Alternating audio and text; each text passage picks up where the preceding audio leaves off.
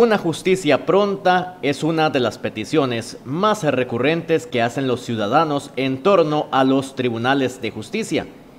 Y eso se cumple en la Fiscalía de Pérez Celedón, los niveles de condenatorias colocan a la vanguardia a este despacho a nivel nacional. El nivel de condenatorias que eh, se acerca al 95% de los asuntos que llegan a juicio.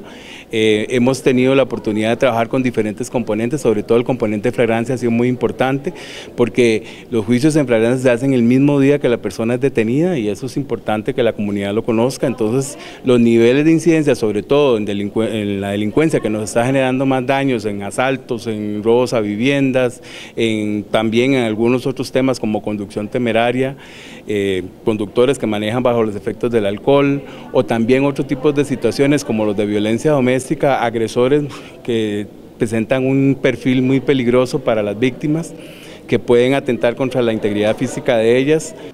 Dentro de este trabajo, el aspecto de la labor conjunta, las alianzas, juegan un papel fundamental para cumplir una serie de metas que se fijan dentro de este despacho judicial en el Valle del General. Eh, la Fiscalía ha generado una serie de alianzas, no solamente a lo interno entre los mismos fiscales para dar un mejor abordaje, sino también con los diferentes cuerpos policiales. El Fuerza Pública ha sido importantísimo en todo el trabajo en flagrancia.